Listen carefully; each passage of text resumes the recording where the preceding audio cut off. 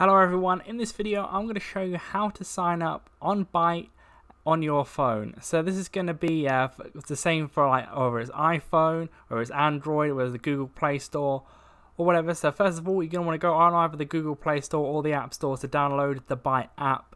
Uh, once you've done that you're going to want to click on the Byte app let that load up you can either sign in with Apple or sign in with your Google account. So this this example, I'm going to sign in with my Google account. This Byte wants to use google.com sign in. Click, click continue and uh, let that load up and then uh, you're going to want to type in uh, obviously your email and password for that. Uh, so I'm just going to go ahead and do this now.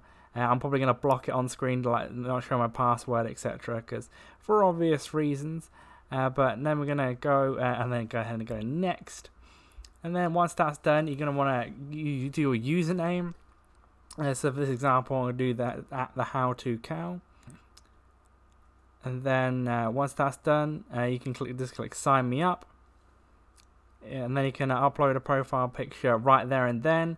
Or you can uh, do it later. Just for this example, I'll do this later.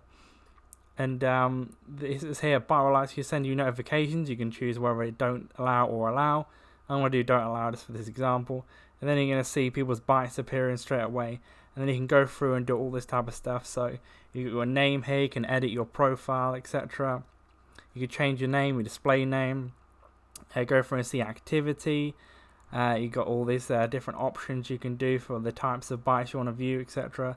on the home page, or you can go in the middle and make your own byte. But that's pretty much as simple as that for signing up. Pretty simple process. So do leave a like on the video if that did help you out.